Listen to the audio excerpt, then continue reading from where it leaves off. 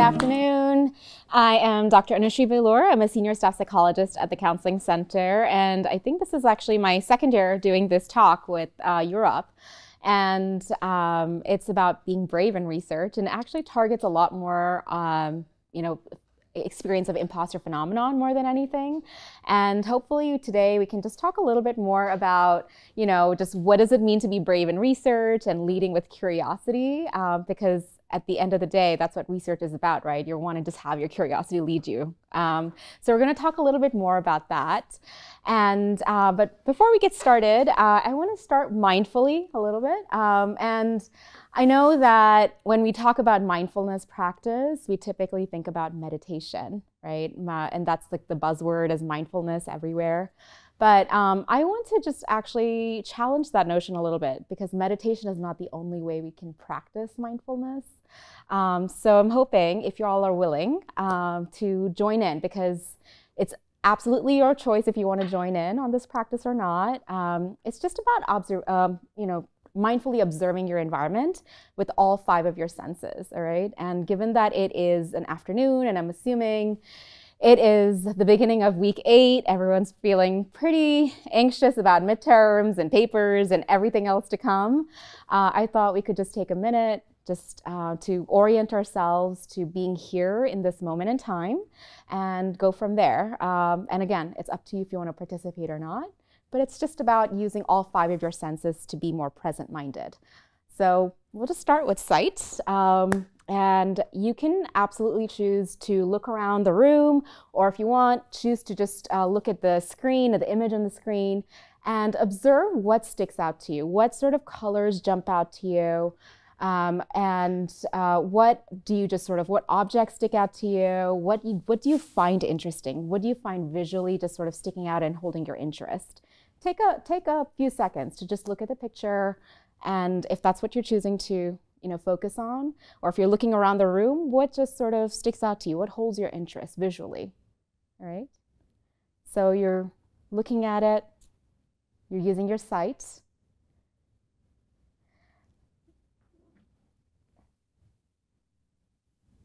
And next, let's actually get oriented to being here in this room. So I want you to pay attention to what is the temperature like right now in this room?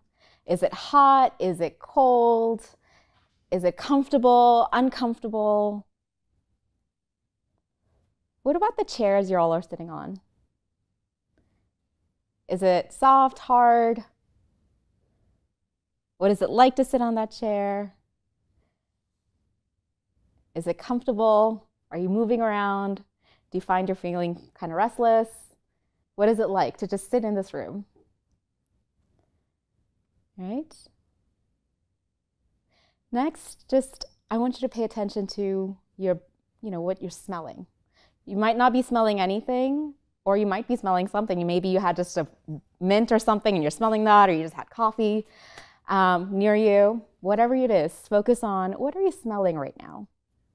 And if you don't smell anything, just focus on the cool air entering your nose and the warm air you're exhaling.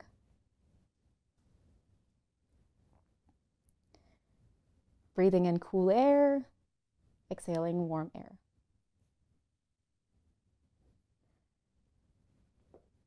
All right. Next, anything are you, what, what are you hearing? Focus on what are you hearing? Maybe it's the hum of the computers, the laptops, or just the hum of the AC that you're hearing or the heater. What are you hearing?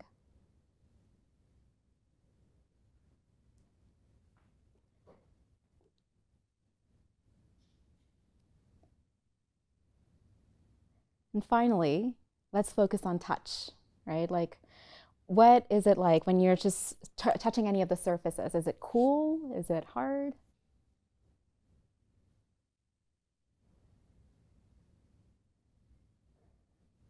Soft?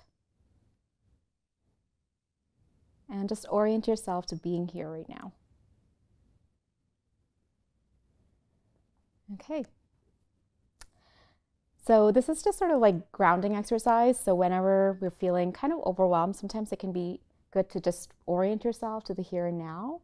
Because when we're feeling kind of overwhelmed and thinking about, oh my God, I have the next thing to do, next, you know, task to just accomplish in my to-do list, and you're getting caught up in your thoughts and spiraling, it can be helpful to just sort of slow down a little bit and check yourself to say, I'm here right now. Let me focus on what I can do right now in this moment. Where am I at?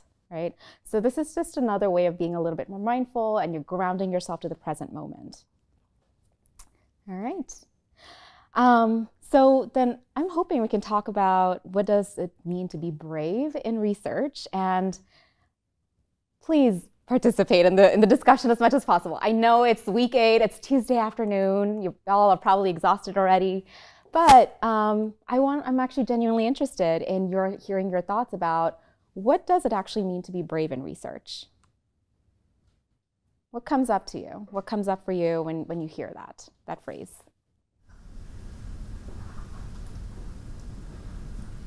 I think there's certain things where it's like you're willing to like engage yourself when you're in a research lab. You're willing to like kind of engage with the subject. You're not just kind of like passively doing what you know some instructions. You're like you know asking questions, trying to like go more in depth about things. You feel confident in mm-hmm. like interacting with the material. Mm, mm-hmm. So actually engaging with the material. Yes, thank you. Yeah. I would say like um, letting your curiosity like be known, like presenting your curiosity, like especially like in a lab, like say you have like an idea, so like you'd be like presenting that idea to other people and getting their thoughts on it. Yeah, getting your getting your ideas out there to just see, okay, I'm curious about this. What are all your thoughts on this? Yeah, absolutely. Yeah, love it. Anyone else? I think it's also about being open with things you don't know about. Yeah. Like not experienced, you can just say like, "Oh, I'm not sure what this is. Can you help me with that?" Yeah, absolutely. Owning up to, hey, the, I I don't know what I don't know, so can you help me? Love it. So just sort of that intellectual humility, right? Yeah, absolutely. And I saw a raised hand there. Oh yeah, if you're um, asking to be part of a group or not, like how to um, like overcome the fear of rejection or whatnot. yes absolutely right? Just even just taking a chance to say i'm going to ask to be part of this. Even if there is a chance i'm, I'm going to be said like yeah i can't be part of it. I'm going to ask anyway right? Just overcoming that fear is a huge thing. Absolutely. Yeah great answers. I'm so glad that you're also saying this because um, we're, it's actually quite tied into the experience of imposter phenom- phenomenon, and I'll just kind of go into it a little bit. So before we kind of get there, I want you to just take a look at the questions and um, just, you know, if you want, you can just answer it out loud or answer it to yourself. Um, do you believe that your accomplishments are, are because of luck, timing, or error?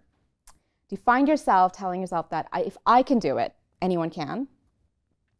Do you agonize over the smallest flaws in your work? Are you crushed by even constructive criticism, seeing it as evidence of your ineptness? And when you do succeed, do you secretly feel like you fooled them? And do you worry that it's just a matter of time before you're found out? Kind of like just put those questions up there for a few more seconds, ponder on it.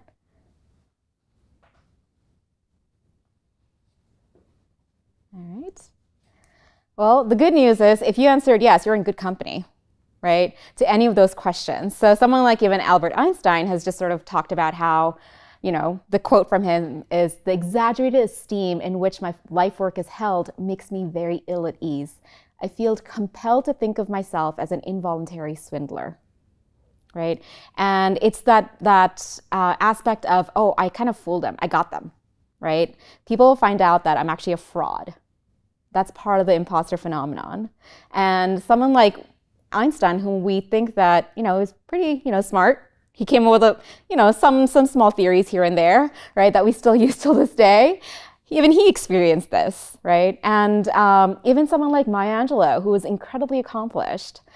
Um, I've written 11 books, but each time I think, uh oh, they're going to find out now. I run a game on everyone and they're going to find me out right? Um, so there's an aspect to the imposter phenomenon that makes it feel like you're not supposed to be there or you don't belong, right? And that's actually something that can be signs of an imposter phenomenon. But before I even just go there, I want to ask you all, when you think about, I mean, you might have even heard of it as imposter syndrome, right? Or imposter phenomenon, what comes up to your mind? Yeah. Um, place that you're at. Yeah, yeah. So I don't belong here. Yeah, absolutely. Thank you. Anyone else?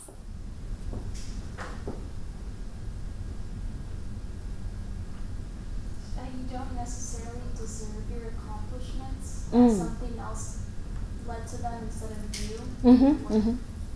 Yeah, so it's sort of saying my accomplishments are actually it's because of pure luck that I got it, not because of your persistence and hard work, but rather I just got lucky or someone grading me was just went super easy on me, right? That can happen as well. Yeah, absolutely. Anyone else?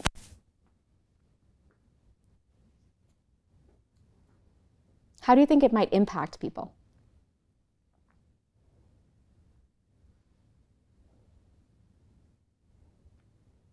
if you're going into spaces feeling that I'm not supposed to be here or that any of the accomplishments that I'm having are actually because of pure luck, how do you think that might show up in your work?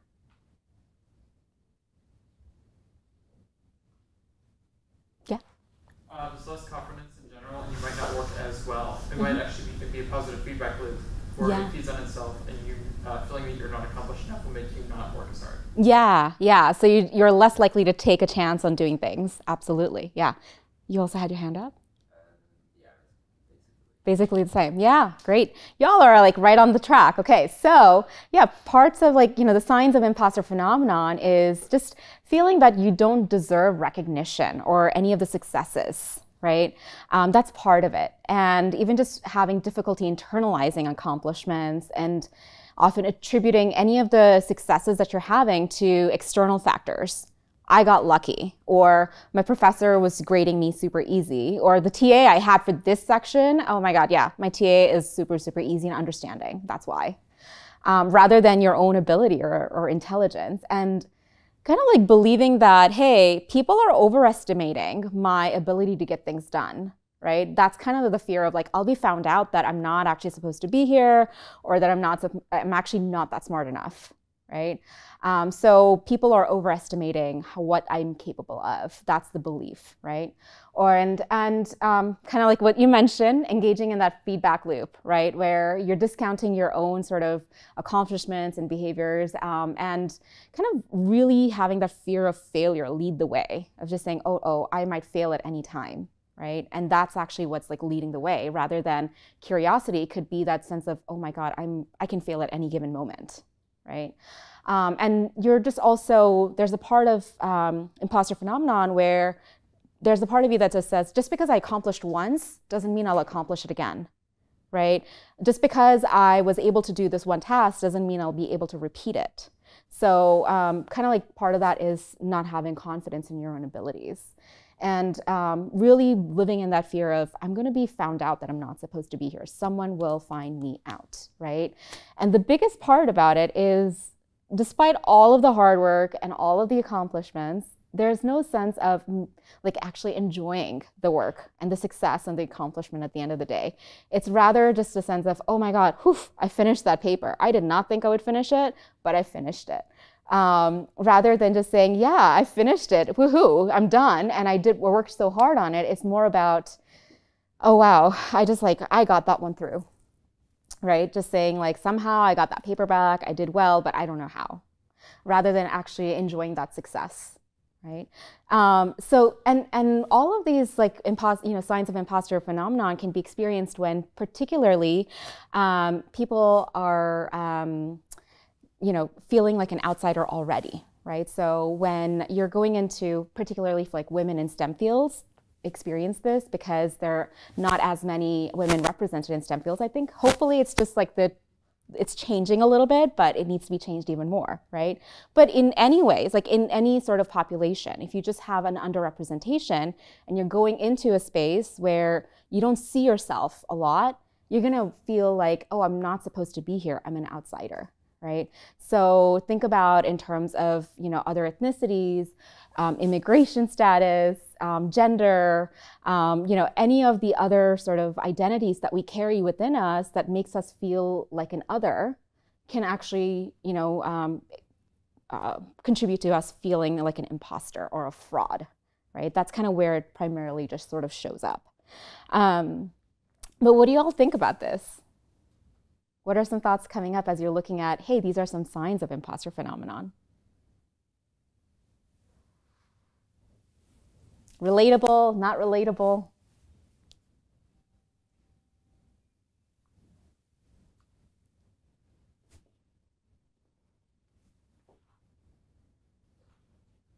Hmm.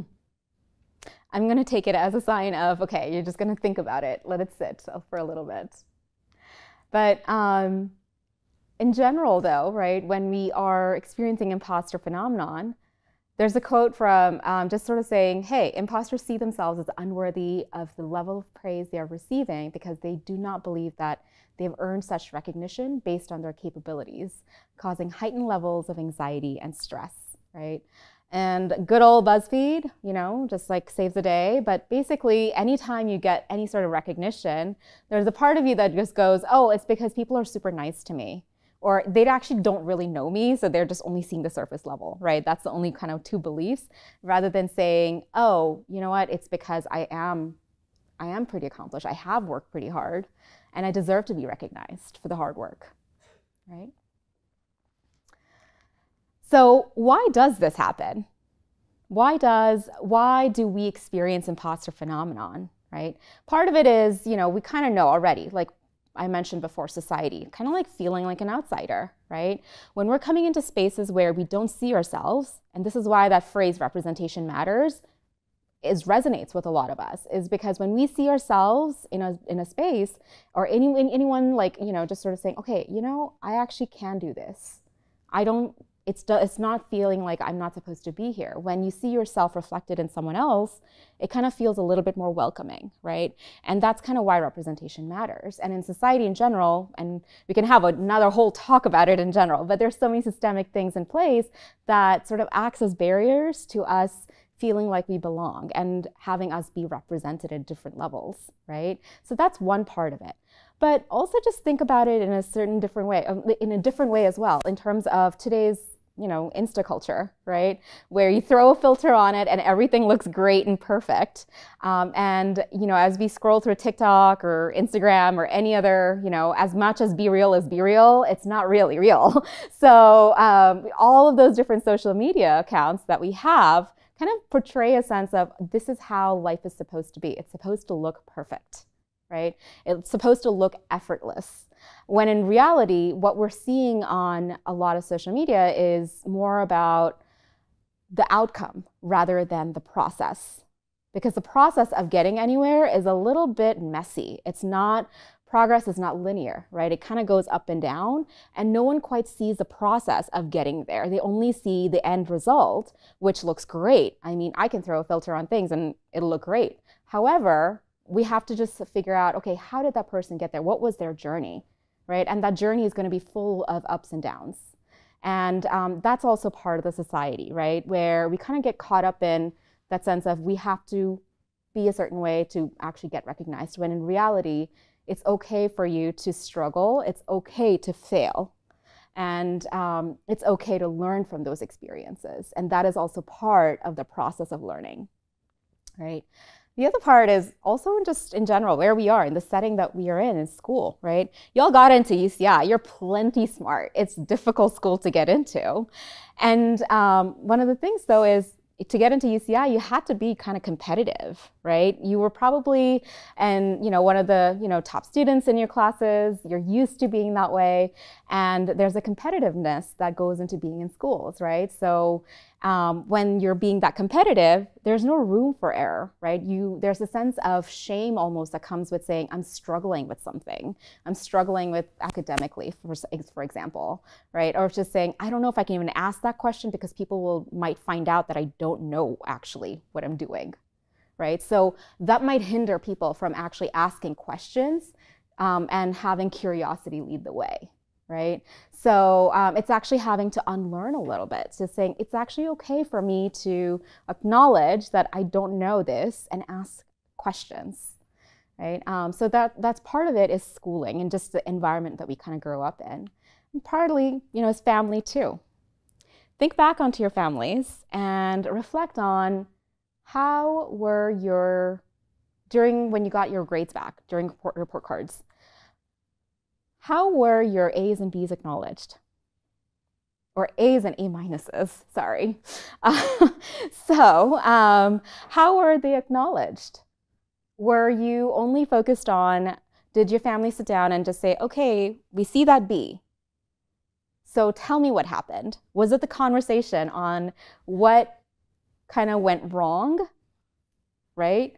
Um, when it's not really, it's just more about saying, okay, I, this is something that can be improved on. Was a conversation only on that?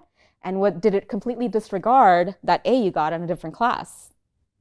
Right? So that is also kind of combi- contributing to that sense of, oh, we only focus on things that need to be improved on. We do not focus on what is working well. We do not acknowledge what is already going well for you right? And that can be an internalized message. So when you get a good grade on an exam or a test, it's sort of saying, yeah, okay, fine, whatever. But that one comment on that paper that said, oh, I, you should have expanded more on this. That is a comment that you will focus on and just say, oh my God, I did not do well, right? So with imposter phenomenon, you're more likely to, um, you know, fixate more on the constructive criticism that just says, you know, that says, just because you got one comment of constructive criticism, you're saying that's a failure, right? That can happen with, construct, uh, with uh, imposter phenomenon. So again, it's about having to unlearn and just say, huh, I do have accomplishments. Just because I got constructive criticism or feedback saying I can change certain things, it doesn't automatically mean that I didn't do well, right? It's about bringing more flexibility into our thinking, right? What do y'all think so far? Yeah? Okay nodding heads. I'll take it. Okay. Um, and I know some of you already talked about this already, but how does it show up, right? Um, I think you know one of the things that was mentioned was already holding back, right? So sort of uh, in that fear of being found out or fear of failure, you might just find yourself saying, "Oh, I'm not going to ask that question. I, maybe it's it's better for me not to even ask that question and find out. You know, never mind. People will find out that I'm not sure what I'm talking about, or that I'm not supposed to be part of this group if I ask this question, right? Um, or on the other hand, it could look like over preparation, where you're spending hours and hours and hours, where you're saying, "Okay, I have to be a hundred and 10% prepared for this so that I know every single thing. I can anticipate every single thing that can go wrong, right? And that's a lot of stress to carry.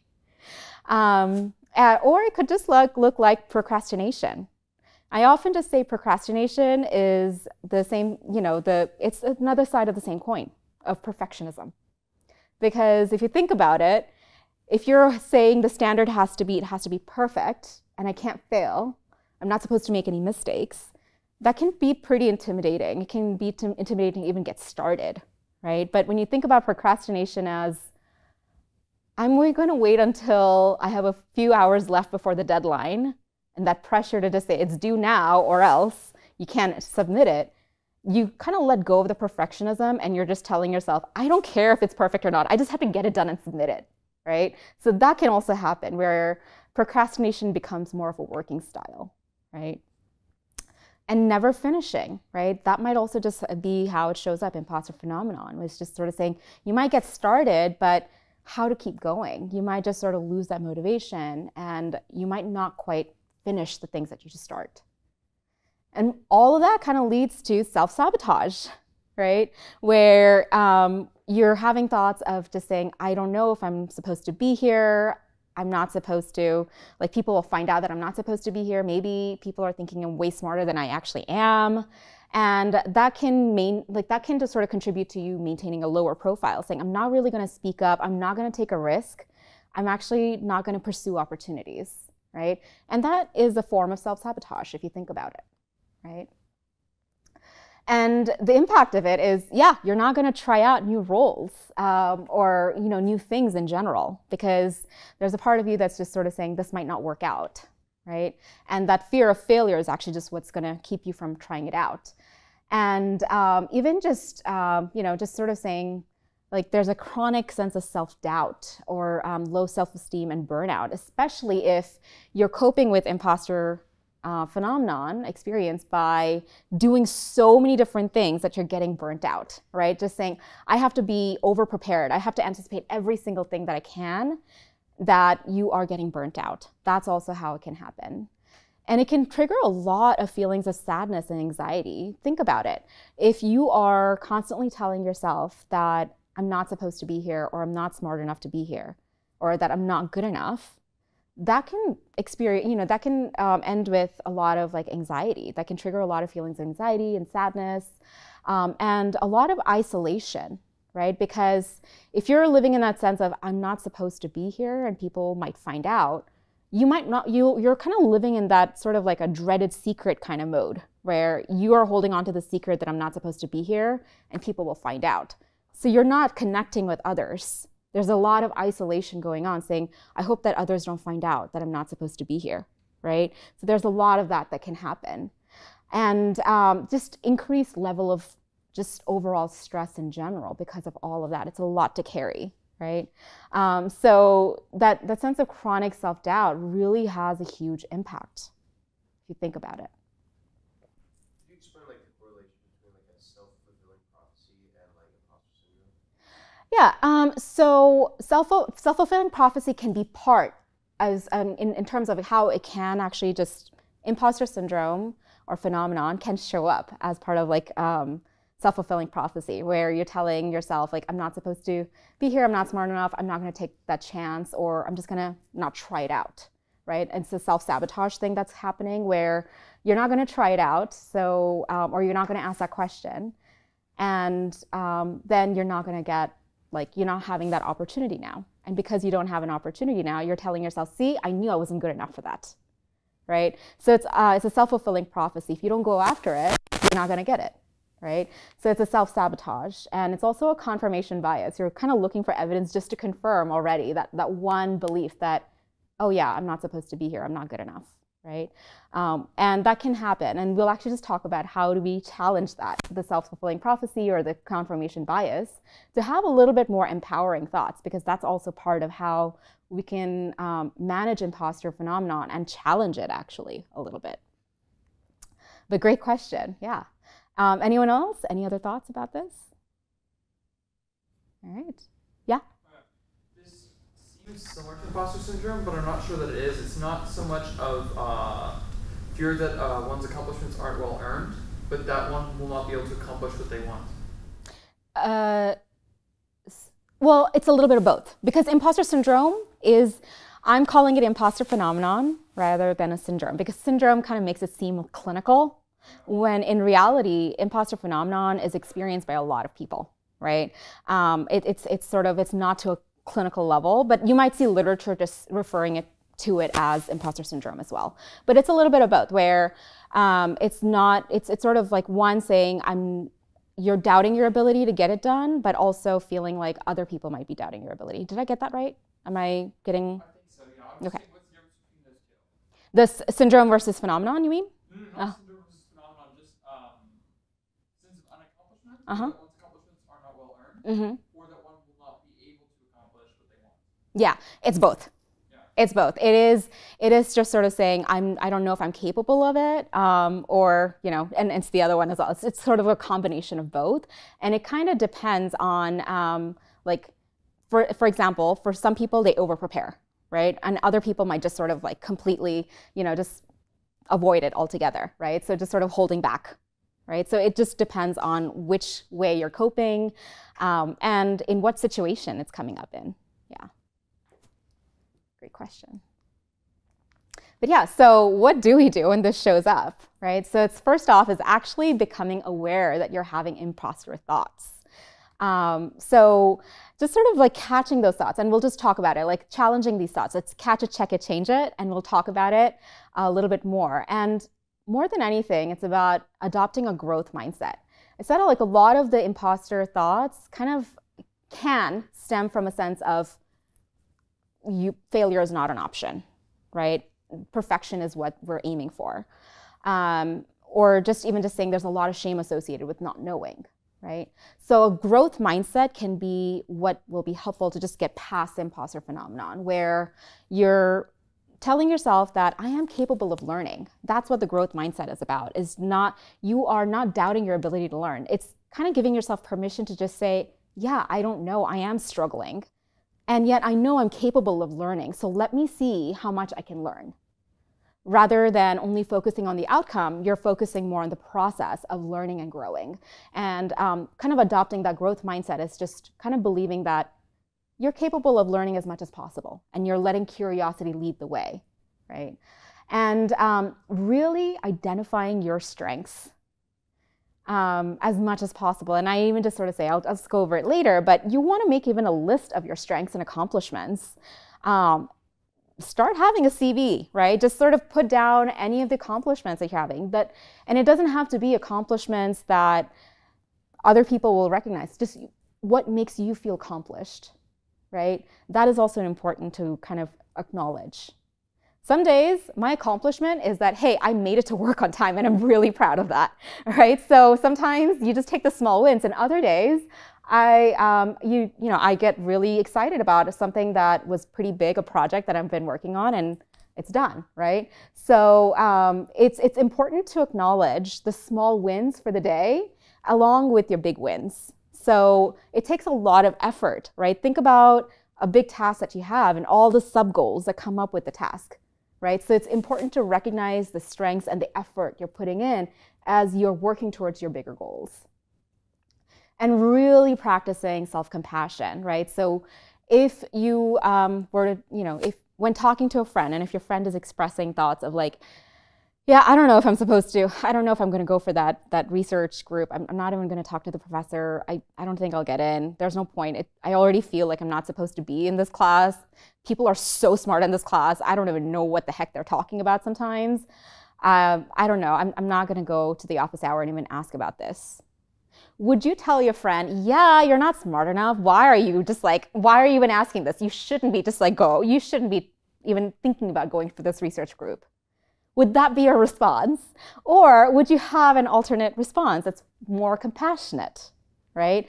You probably, hopefully, you're leading with empathy and just saying, hey, you know, you're, this class is a difficult class. It's okay if you don't understand some things, but what do you got to lose if, you know, by asking your professor if you want to join that research group?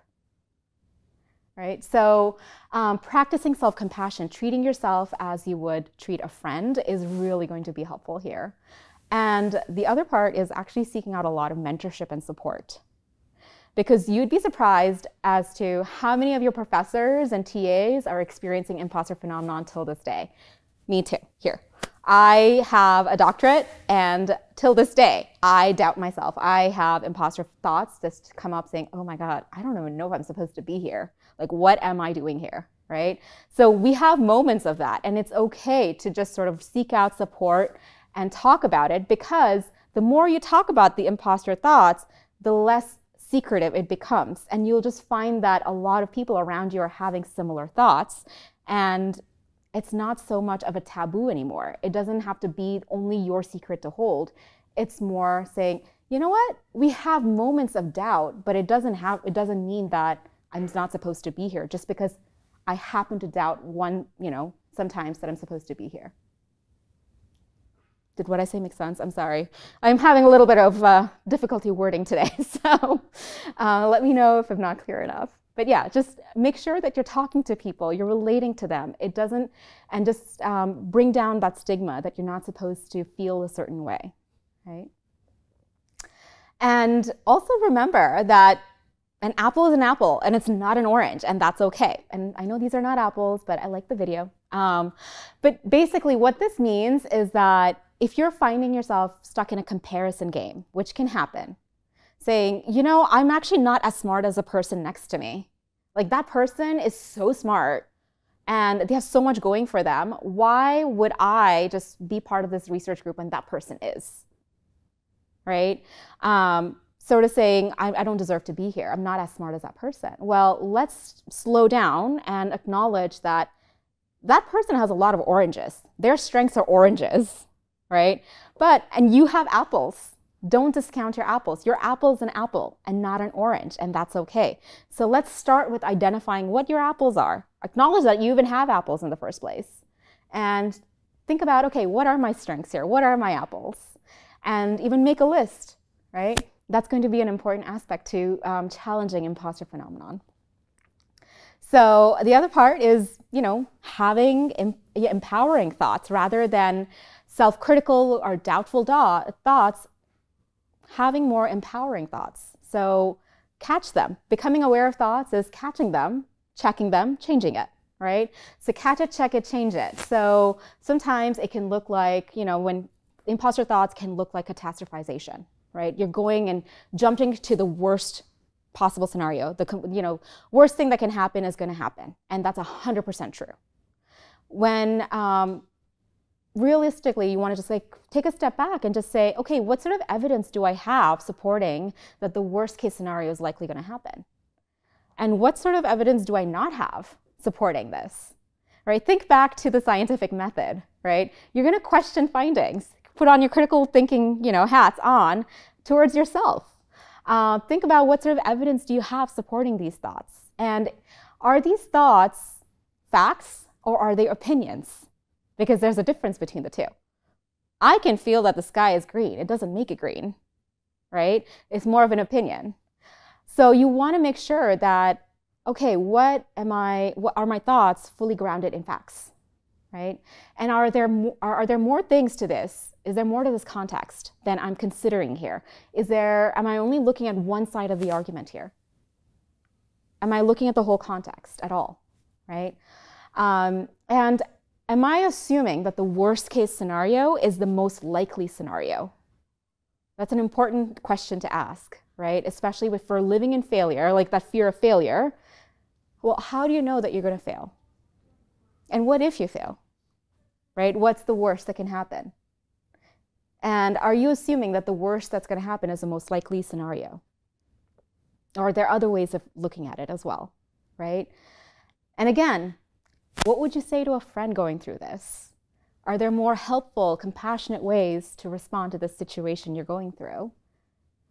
And also giving yourself permission to say, it's okay for me to struggle, right?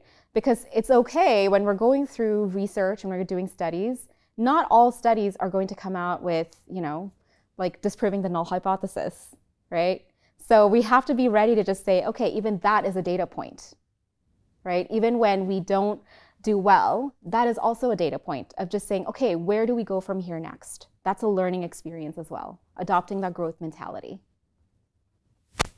What do you all think about this? The whole empowering and catch it, check it, change it. Any questions about it?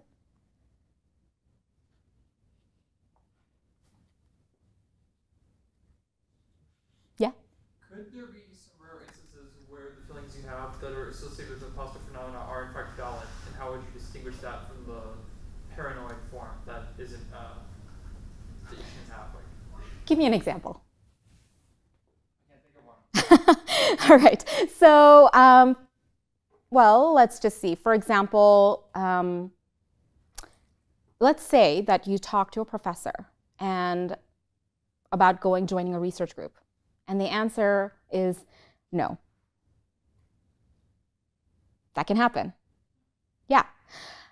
So our minds can jump to a place of, see, I knew that I don't belong here. I'm not smart enough right? I'm not smart enough. That getting a no from and the professor means that I'm not smart enough. That might be the thought you might be having, right?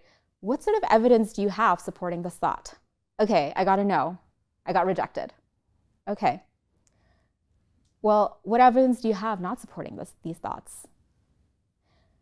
Is it just one research study that you want to be part of, you got to know from? Are there other pieces of evidence telling you that you're not smart enough? What sort of evidence do you have? For example, just do you not understand anything in the class? What about your all the other classes you've taken at UCI? Right? All the classes, all the information that you've learned so far throughout your academic journey. Does it just show that does it that does that data point just say that you're not smart enough? Would a friend if come to you, coming to you just saying, you know what, I, I talked to Professor so and so, and they told me that I can't be part of their research group. Now I just feel like I'm so dumb. I knew I wasn't supposed to be here. I'm not supposed to be at UCI. I know that I'm, I'm just I'm just really beating myself up. Why did I even ask now? Would you just sort of say, yeah, you shouldn't have asked. What's wrong with you? You're not smart enough to be here. That wouldn't be your response, right? You would have a compassionate response. What would the response be to your friend? So catch it, check it, change it. Because just because you're you might get rejected, you might get a no, does it mean that that is forever? Are there other opportunities available for you? Right? So you want to just be on the lookout for, okay, what would my I tell my friend if they were going through something like this? And what is the growth mentality here? I'm not saying, hey, don't get sad because rejection sucks, right? At any level. So getting a no from a professor you want to work with, yeah, that sucks, absolutely. I'm not saying don't feel sad or don't even feel stressed out because that's not fair. You're human, you're going to get impacted by that. I'm also saying just because you got a no doesn't mean it's a no forever in terms of you'll have no other opportunities or that you're not smart enough at all for other opportunities, right? That's the growth mentality aspect of it. Um, so that's that's another way of just saying, okay, how can I change this like the thought to be a little bit more compassionate towards myself and a little bit more empowering, right? Yeah. Does that make sense? Does that answer? I think it does. Yeah, I, I know I understand the process. So basically, the rejection proves that you're not qualified for the research group and not necessarily anything else. You're not qualified for everything, right? That can be the generalization. Just because you got rejected from that one group doesn't mean you're going to get rejected for every group. Thank you. All right, and some of the other practical tips that we kind of talked about before already is talking to other people about the imposter syndrome and imposter phenomenon. Um, again, be open. I challenge you to be open about experiencing these thoughts, um, especially with a TA or a professor or a trusted mentor that you have. Um, and you might just be surprised at the results, right? Um, and the other exercise is saying thank you when you get recognized rather than, oh no, like you, when someone just says, oh my God, that was a great paper that you wrote and that, or that presentation that you made was really great. It's not about, oh no, yeah, I just threw it together at the last minute. That can be the usual response for many of the students that I see. But in fact, no, just say thank you, own it. Even if it was a last minute thing that you did, the fact is you had that knowledge within you and you had the ability to put it all together. Great, own it. They say thank you. Um, and uh, reward yourself, right? When you accomplish something, reward yourself. Even if it means you're gonna get boba, which is my favorite, regardless of the rain, I'm gonna have some boba, right? Uh, reward yourself, treat yourself. It's important to do that, the small accomplishments, right? Um, sometimes I swear y'all, I treat myself when I make it to work on time. Like I'm telling you, that's my, my treat. So it's important to reward yourself with small accomplishments, all right? And again, write out that list of strengths and accomplishments. Small things go, small things and big things. And um, in fact, you can even maintain a strengths journal, right? Where at the end of the day, you can take a moment to reflect on, hey, what sort of strength did I rely on to get through today?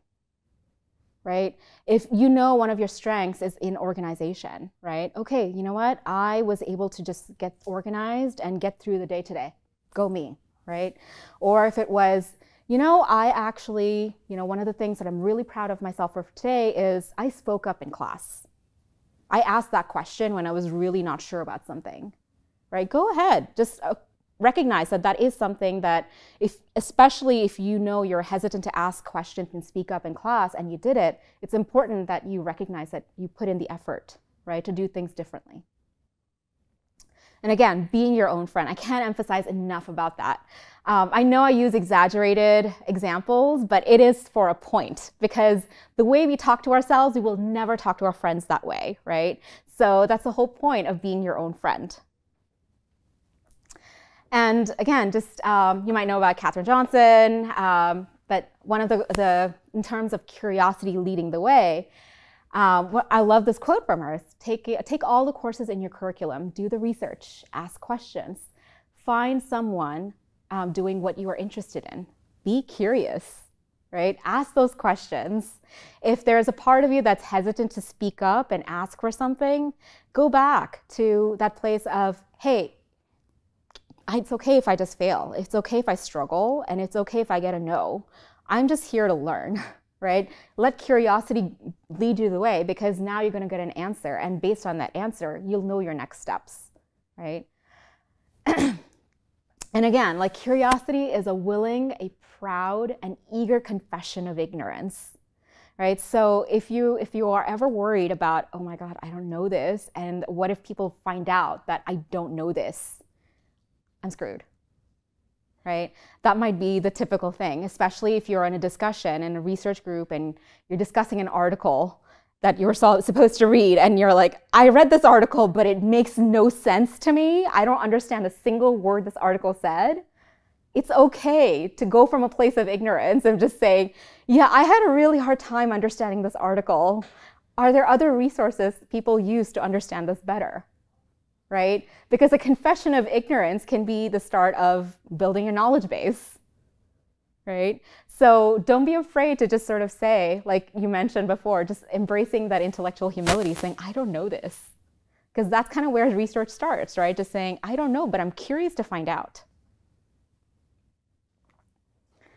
And again, making space for all that's there. And this is an important aspect of um, even when you're feeling really, really anxious and having a lot of those thoughts coming up saying, I don't know if I'm supposed to be here. I don't know if I'm good enough you're feeling really anxious about talking to a certain professor, about, um, or even speaking up in class, saying, I don't know, I don't want to sound dumb, right? It's important that you make space for all that's there. Um, rather than saying, I'm not supposed to feel a certain way, go ahead and just say, you know what?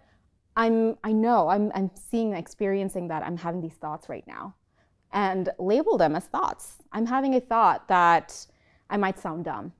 Rather than saying, I am dumb, make sure that you're acknowledging it's a thought that you're having and not all thoughts are true right so you want to make sure that you're making space and you are getting some perspective on them rather than saying i'm not supposed to be feeling a certain way right and actually i'm going to have you all just do a quick experiment here it's a thought experiment so if i tell you whatever you do right now don't think of a white bear what comes up yeah, a white bear, right? For me, it's always like the old school Coca Cola polar bear ads. Do y'all know about that one? Yeah, that's the one that comes up to my mind, right? Whenever I think about a white bear. Um, but now I'm just gonna say, okay, you know what? If you find yourself thinking of a white bear, acknowledge it. What happens now?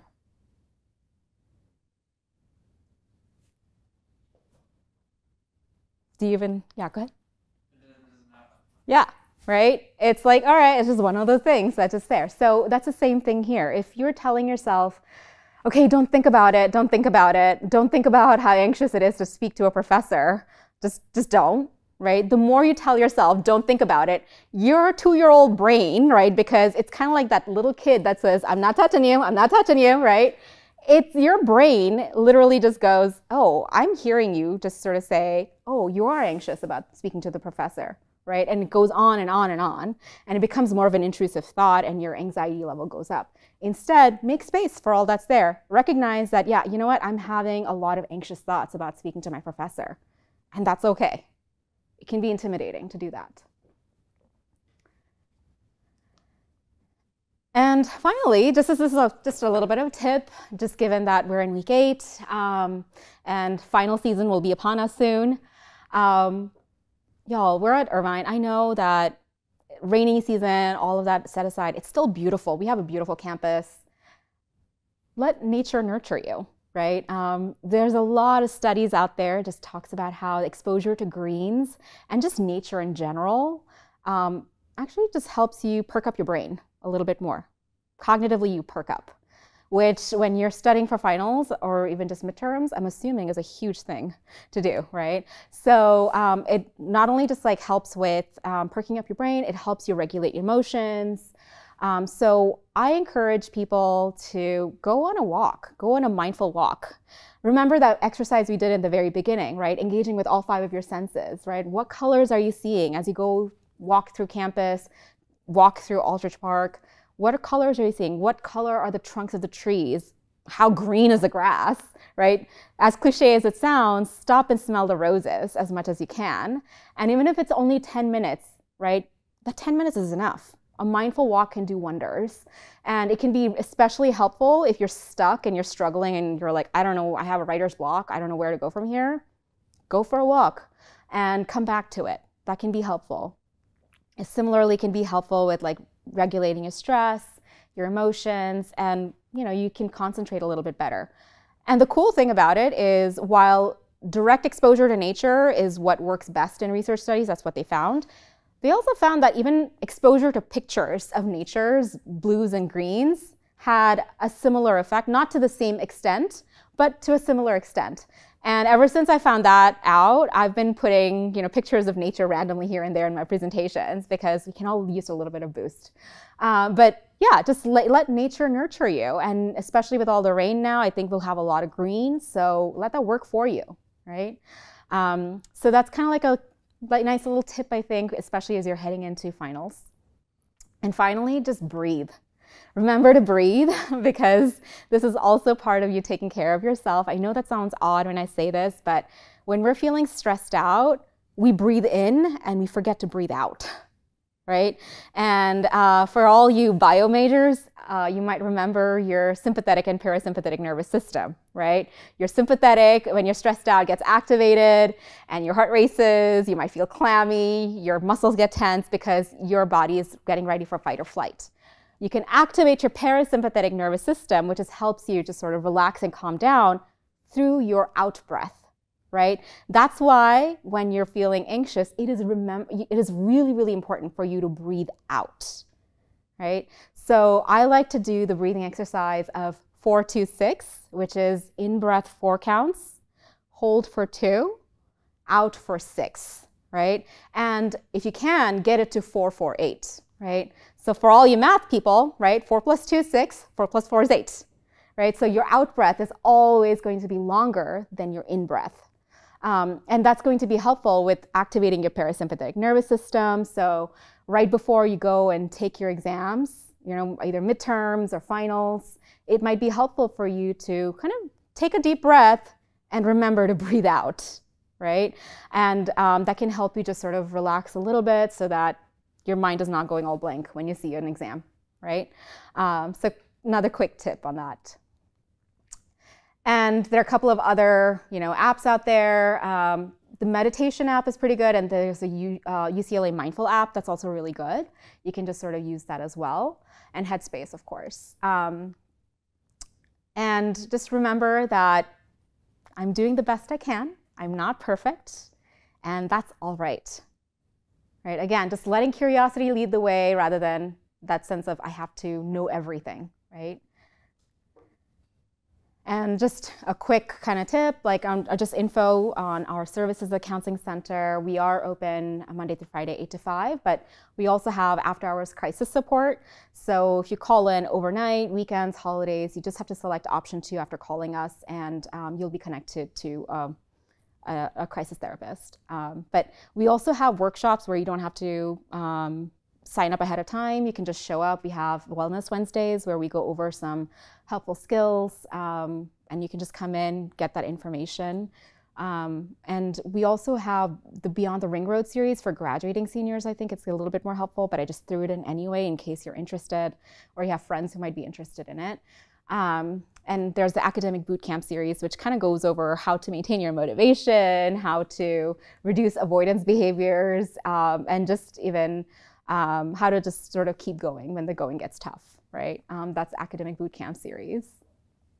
But that's what I have so far for y'all about today. Um, and these are other ways to connect with the Counseling Center if you're interested.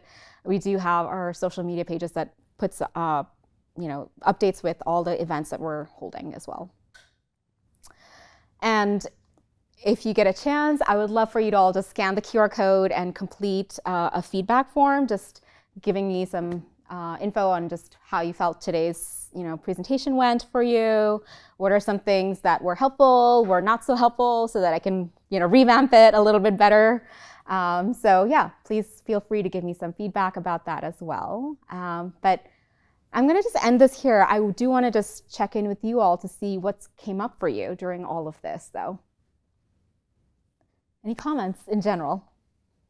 All right. I'm gonna just like let you all be, but thank you so much for participating and um, helping me just also just you know um, explain a few things a little bit better. Uh, I really appreciated that, and uh, yeah, feel free to contact the counseling center if you have any other questions or concerns. Thank you.